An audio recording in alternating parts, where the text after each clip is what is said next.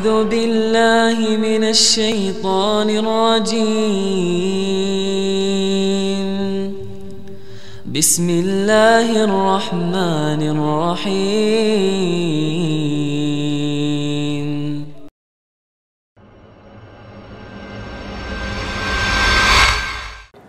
السلام عليكم ورحمه الله وبركاته وعليكم السلام ورحمه الله وبركاته bagaimana caranya Ustadz istiqomah berbakti pada suami? Terkadang saya bisa bersabar, terkadang bisa marah-marah. Apalagi ketika capek melakukan aktivitas rumah. Nah, kuncinya lillahi ta'ala. Ketika berbuat baik sama suami, jangan berharap balasan dari suami. Kalau berharap balasan dari suami yang ada sakit hati. Ini dalam semua hal jemaah. Kalau antum membantu saudara antum, membantu keponakan antum, membantu siapa saja orang-orang dekat dengan harapan dia membalas budi antum tak sakit hati nanti. Tapi ketika melayani suami, dia berharap surga Allah seorang istri, suami mau melakukan apa pun ya Allah, kau yang tahu ya Allah.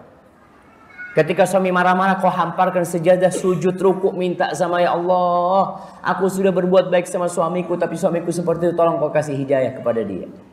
Insya Allah dia berusaha menjaga amalannya lillahi ta'ala. Dan sabar, kemudian melihat kepada orang-orang yang lebih susah hidupnya. Banyak wanita tidak bersyukur. Dia merasa suamiku ini nggak benar. Kau lihat ada suaminya yang lebih parah. Suamimu lebih mending. Jangan bandingkan suamimu dengan yang lebih baik. Tapi bandingkan suamimu dengan yang lebih buruk. Suami juga nih bapak-bapak nih. Kadang-kala kalau marah sama istri, kau tahu istriku.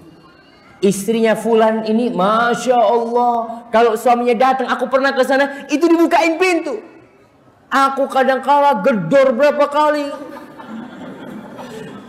Nggak usah dibandingkan. Tapi minta, katakan apa yang kau inginkan dari dia tanpa membanding-bandingkan. أعوذ بالله من الشيطان الرجيم بسم الله الرحمن الرحيم.